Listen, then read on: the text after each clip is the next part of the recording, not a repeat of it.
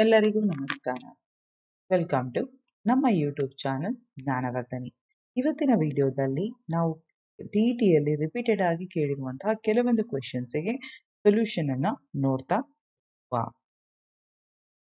First question An object of mass 5 kg has a weight of 8.15 Newton on moon. How much would be an object of mass 8 kg weigh on moon?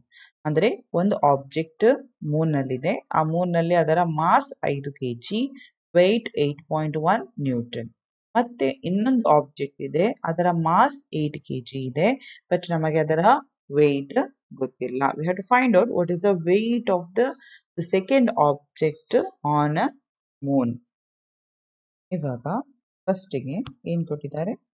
Mass of the object first object on moon is equal to five K G and weight is equal to eight point one five newton so second ಇದು first object ಇದ್ದು next second object ಇದ್ದು mass ಕೊಟ್ಟಿದ್ದಾರೆ that is eight K G ನಾವು we have to find out what is the weight so ಇದರಲ್ಲಿ ಯಾವ ರೀತಿ ಇದೆ ಅಂತ ಹೇಳಿದ್ರೆ ಆ, ಎರಡು ಆಬ್ಜೆಕ್ಟ್ ಕೂಡ ಮೂನಲ್ಲಿ ಇದೆ ಓಕೆ ಸೊ ಮೂನಲ್ಲಿ ಇರುವಾಗ ನಮಗೆ ಒಂದು ರಿಲೇಶನ್ಶಿಪ್ ಗೊತ್ತಿದೆ. That is weight is equal to mass into acceleration due to gravity so ಈಗ ನಾವು ಫಸ್ಟಿಗೆ first ಆಬ್ಜೆಕ್ಟಿಗೆ acceleration due to gravity A ಅಂದ್ರೆ ಎಷ್ಟು ಅಂತ ಹೇಳಿ ಫೈಂಡ್ ಔಟ್ ಮಾಡಬೇಕು. ಸೊ ಎ ಅಂತ ಹೇಳಿದ್ರೆ W divided by M that is W is eight point one five divided by five ನಮಗೆ answer one point six three metre per second metre per second square answer ಸಿಗ್ತದೆ. So ನಮಗೆ ಇಲ್ಲಿ ಗೊತ್ತಾಯಿತು ಏನು acceleration due to gravity ಎಷ್ಟಾಯಿತು ಒಂದು object ಇದು one point six three ಕರೆಕ್ಟಾ ಸೊ ನೆಕ್ಸ್ಟಿಗೆ ಏನಂದ್ರೆ ಸೆಕೆಂಡ್ ಆಬ್ಜೆಕ್ಟ್ ಕೂಡ ಎಲ್ಲಿದೆ? ಮೂನ್ನಲ್ಲೇ ಇದೆ.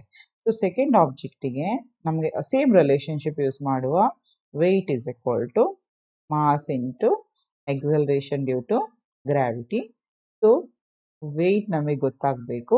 So mass is eight K G acceleration due to gravity is one point sixteen so multiply ಮಾಡುವಾಗ ಆನ್ಸರ್ ನಮಗೆ thirteen point zero four newton ಬರ್ತದೆ. So the answer is thirteen point zero that is second option so ಇದು ತುಂಬ simple ಇದೆ.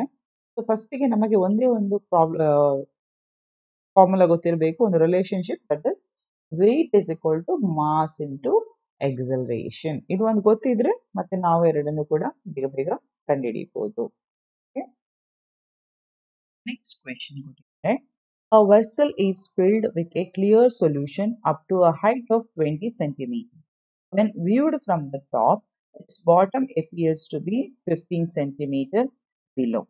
Then calculate the refractive index of a clear liquid.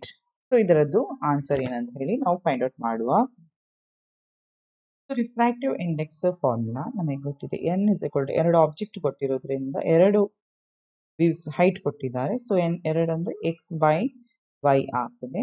So X clear solution ಇತ್ತು that is twenty next fifteen so ನಮಗೆ answer ಎಷ್ಟು ಬರ್ತದೆ? One point three three so correct option second one one point three refractive index of a clear liquid ಇದೆ ಎಷ್ಟು? Refractive index one point three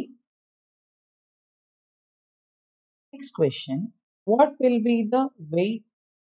What will be the current drawn by an electric bulb of 40 watt when connected to a source of 220 volt? So ನಮಗೆ ಗೊತ್ತಿರೋ formula enandre power is equal to voltage into current I so power ಕೊಟ್ಟಿದ್ದಾರೆ ನಮಗೆ ಎಷ್ಟಿದೆ ಇದರಲ್ಲಿ power that is forty watt next ನಮಗೆ I ಅನ್ನ ನಾವು find out ಮಾಡಬೇಕು ಕರೆಂಟ್ ಅನ್ನ. ಹಾಗೆ ಇಲ್ಲಿ ವೋಲ್ಟೇಜ್ ಕೂಡ ಕೊಟ್ಟಿದ್ದಾರೆ. That is two twenty so ಎಲ್ಲ ಇದು ಕೂಡ ಗಿವೆನ್ ಇದೆ ಸೊ ನಾವು ಇಲ್ಲಿ ಡೈರೆಕ್ಟ್ ಫಾರ್ಮುಲಾಗೆ ಅಪ್ಲೈ ಮಾಡುವ. P is equal to V into I so P is equal to two twenty volt is equal sorry P is equal to uh, 40 equal to voltage is 220 into I. So, I is equal to 40 divided by 220.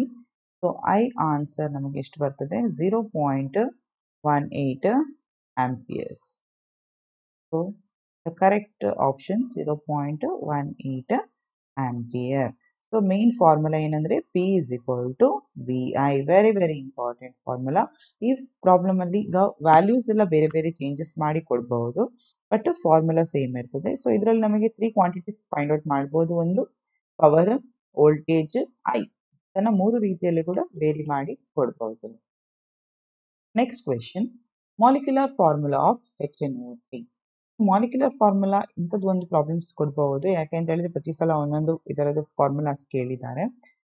So ಇದರಲ್ಲಿ ಫಸ್ಟಿಗೆ ನಮಗೆ ಏನು ಗೊತ್ತಿರಬೇಕು? Hydrogen ಇದು mass nitrogen ಇದು mass oxygen atom ಇದು mass at least ನಾವೊಂದು one to twenty numbers ತನಕ ಎಲ್ಲ ಆಟಮ್ಸ್ ಇದು ಮಾಸ್ ನಂಬರ್ ಒಂದು ಕರೆಕ್ಟ್ ಆಗಿ ನೆನಪಿಟ್ಕೊಳ್ಬೇಕು. ಸೊ ಈಗ ಫಸ್ಟಿಗೆ ಮಾಲಿಕ್ಯುಲರ್ ಮಾಸ್ ಈಗ ಫೈಂಡ್ ಔಟ್ ಮಾಡಬೇಕಾದ್ರೆ ನಮಗೆ ಏನು ಗೊತ್ತಾಗಬೇಕು? Mass of hydrogen plus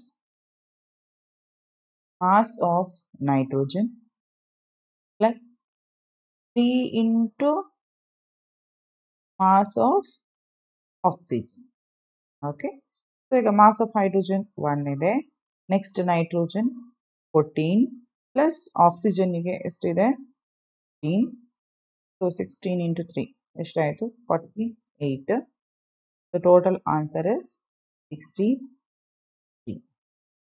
so molecular mass of H N O three is ಇ ಥ್ಯಾಂಕ್ ಯು ಎಲ್ಲರಿಗೂ. ಇನ್ನು ಮುಂದಿನ ಟಾಪಿಕ್ಗಳ ಬಗ್ಗೆ, ಮುಂದಿನ ವಿಡಿಯೋಗಳಲ್ಲಿ ನಾವು ಡಿಸ್ಕಸ್ ಮಾಡುವ. Thank you